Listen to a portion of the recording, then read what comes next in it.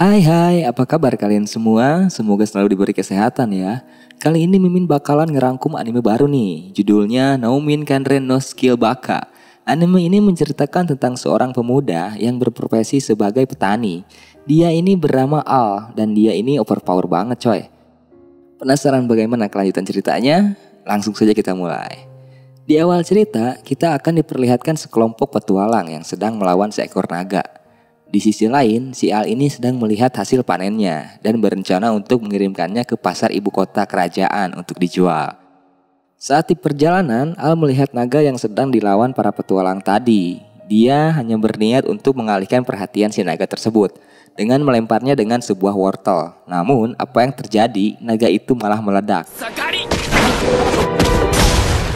Sontak para petualang itu kaget dan mencari asal lemparan tersebut. Namun mereka hanya menemukan jejak kereta kuda. Singkat cerita, Al sudah tiba di kerajaan, tapi tiba-tiba ada orang yang menculik seorang wanita, dan wanita itu adalah putri dari kerajaan tersebut. Dan Al pun berhasil menyelamatkannya. Karena tergesa-gesa untuk segera mengantar sayuran, Al pun langsung pergi tanpa sempat berkenalan. Setelah Al menjual hasil panennya, dia bergegas untuk kembali lagi.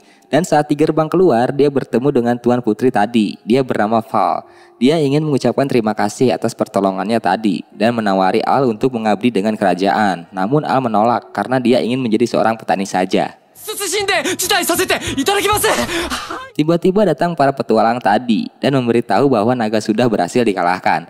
Tapi mereka tidak tahu siapa yang mengalahkannya dan hanya menemukan jejak kereta kuda. Dan saat itu pun Al langsung menyelinap pergi.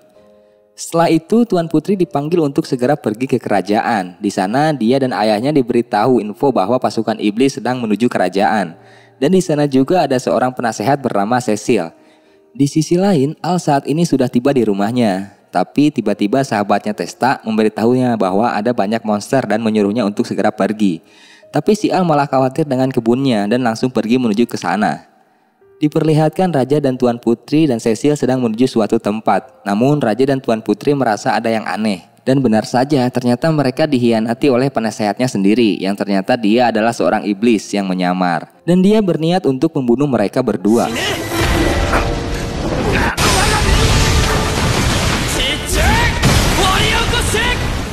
Namun tiba-tiba Al datang dan menyelamatkan mereka. Pertarungan pun berjalan dengan singkat yang dimenangkan oleh Al hanya dengan sekali pukul. Melihat pemimpinnya dapat dikalahkan dengan mudah, para iblis pun kabur.